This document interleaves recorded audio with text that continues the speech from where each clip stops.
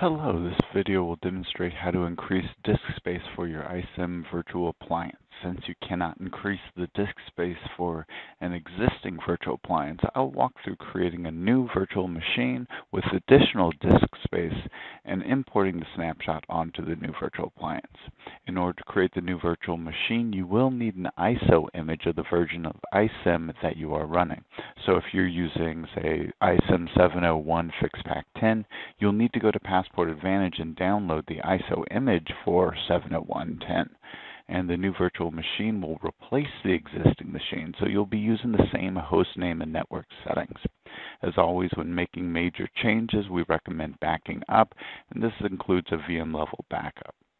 Um, so this is the existing appliance that I have. Now this is a machine that I have in the lab, so some of the things may not look exactly like yours. You'll see my active partition is 701.12 and the disk space is the minimum. Uh, and so what we're going to go ahead and do is look at the disk space under monitoring, and you'll see right there how much is there. It's roughly just under 50 gigs, so we, I do use the minimum of 100 gigs when creating the original virtual machine. And under cluster status, you'll see loading. That's just something from my lab machine from some of my testing. I'm going to go ahead and bring up PuTTY here.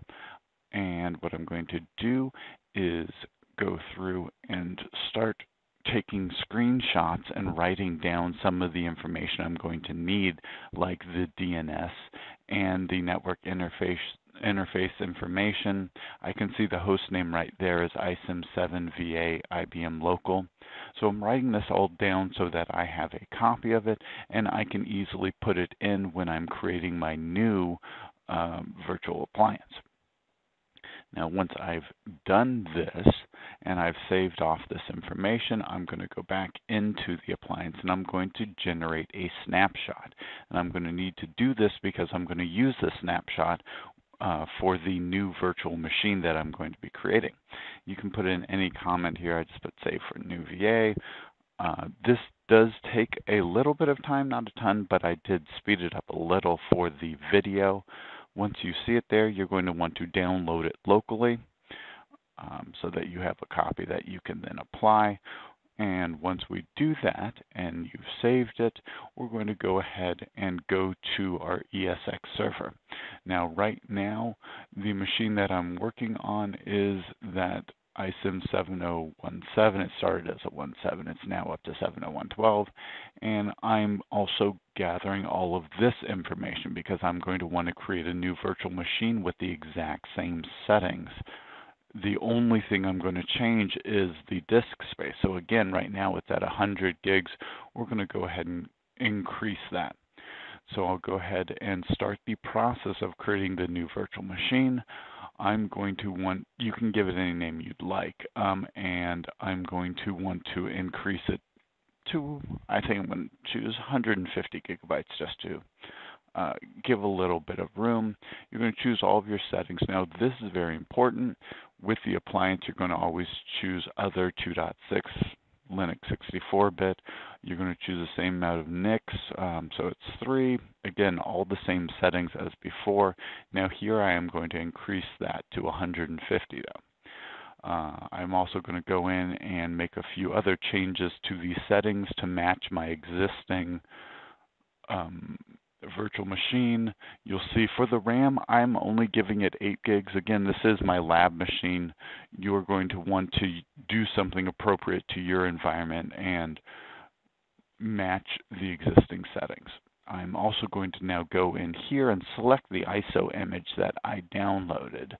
Um, and again, you'll see that it is uh, FixPack 13. And go in all of that's all set up so we can go ahead and create this new virtual machine and then we'll walk through the process of using that ISO to apply the firmware and go through the settings. Now you'll see I still have the old um, virtual machine running. So the appliance is still running it's still accessible, everyone can use it, and it's not until we get to the part where we have to put in the new host name that we're going to need to shut down the old system. So here I'm choosing English, typing yes, and I'm starting the process of doing the firmware. Now this takes normally a lot longer. I've again sped this up for the process of the video. Uh, what it says to do right now is to remove the ISO image. So I'm just disconnecting that and then you hit enter and it will reboot the appliance. You can see down there that it removed the ISO and reboots. You can see it's starting to show 70113. I don't know why it pops up that one message, um, but here it goes. And what we're going to do, again, this is sped up for the video. It normally takes a lot longer, but um, when this comes up, we're going to start to go through some of the information here. So the it, since this is a brand new install, the default username password is going to be admin admin. And as we go in, we are going to change that and set it back to what it previously was. So we're going to go and this is just showing that you can accept the license and you're going to read all that. Um, and once you go through and choose agree, again, you're going to want to match the same settings. So if you did not have FIPS enabled, you do not want to enable it here. Uh, here's where I'm changing the password. Again, the old password is admin because that's the default, and I'm putting in the new password that matches my other machine. Once I do that, it's going to come up here, and I'm going to move uh, put an N to get to the next screen. Now here's the key store. I went ahead and generated this again with the same password. I believe that importing the snapshot should uh, put the existing one in place, but I went ahead and did that anyway. Um, and then for the host name, this is where we're going to need to stop the uh, other machine. So we're going to want to do that obviously cleanly. We're not going to want to just go and uh, power it off. So I'm going to go in back to PuTTY and just shut it down. And then once it's shut down, and you can see in the back that it's shut down there, we're going to want to go ahead and go back to the settings and we're going to put in that same host name. So again, for my particular instance, it was the ISIM7VA.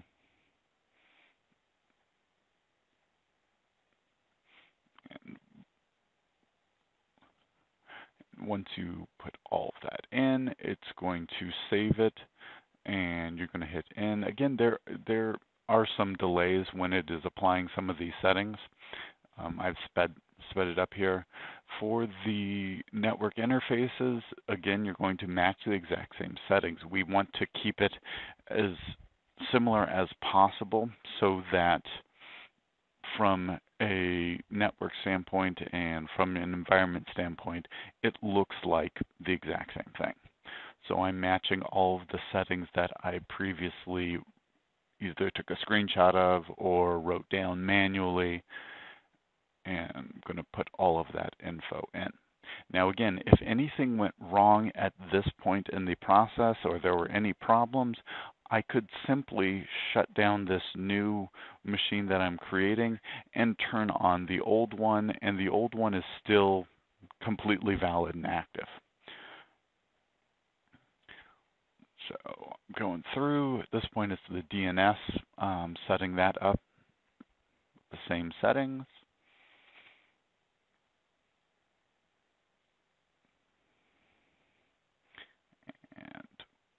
Once that is in, we can choose in for the next screen.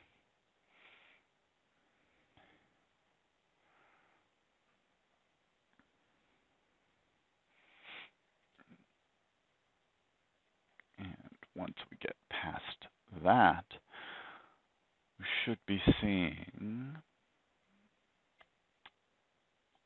all the different kind of a confirmation of all the settings that we've put in place.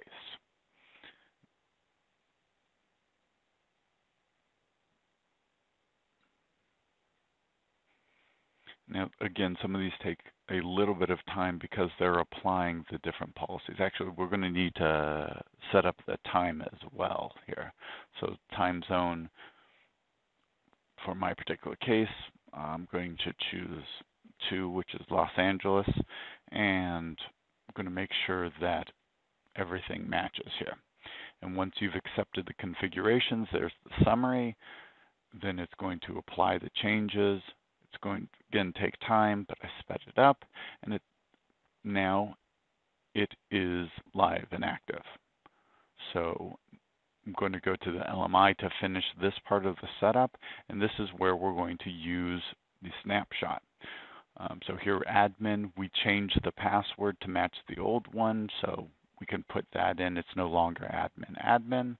And we're going to choose setup for primary node. Um, so we're going to go and choose the one on the left there. And once that comes up, you'll see that you can choose Manage Snapshots. And when you choose Manage Snapshots, what you'll be able to do is um, upload the snapshot that you previously downloaded to your local machine. So you're going to browse to it, select the one that you saved, and then it's going to upload, and you're going to then choose Save Configuration. Now, like I've mentioned, this takes a little bit of time. I've sped it up. Now, once it's shown up, though, you're going to go ahead and select it and then choose Apply. And you'll see a note saying, hey, this is going to apply it and take discard everything that's there. We're going to choose yes. Now, at this particular moment, what you'll see is that things are slowly loading and slowly coming in place. There's not a very clean way to know that everything's been loaded and that you are good, um, that that entire process is completed what you're really doing is you're just bringing up that dashboard and you're hitting refresh. And when you first start, you'll see the data store and the directory server are, not configured. Um, and then it gets to the point where it is. And so I'm checking the performance of the virtual machine, and you can actually see that it is running. And once it is all set up, you're going to go ahead and reboot It should take about 15 minutes. If you gave it 30, that would be more than enough time. Um, and then you're going to reboot. And once you've rebooted, at this point, you're pretty much done. Um, the entire system, like it, all the settings have been applied. So everything from your directory server to your database, um, all of those settings are in place and um, everything is should be good to go. And I'll go ahead and show you my system here with the uh, once it finishes booting up. I'll go ahead and not only show you the VA dashboard, but I'll we'll go into the ISIM console. And I'll show you that that is working as well. And okay, so it's back up.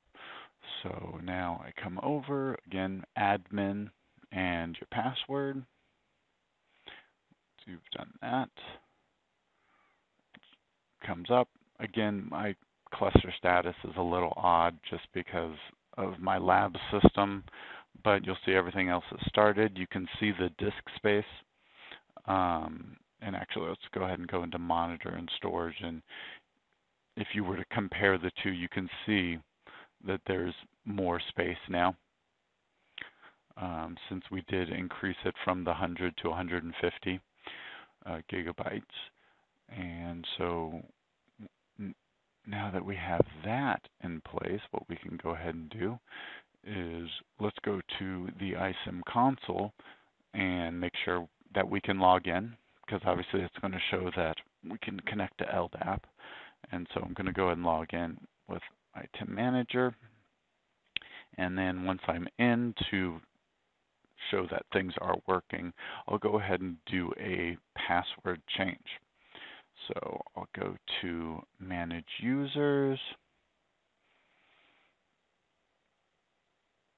And then refresh, and we'll go ahead and choose Brian Goldsmith as a user. Go to Change Password. Uh, it says no accounts for this person. Let me take a quick look and make sure that the issue is actually with the accounts. Um, and if we refresh, we see, okay, so the ITIM service account is actually set to inactive. So let's go ahead and restore that. Again, this fact that we're doing this test, it should show that we have all of the connectivity.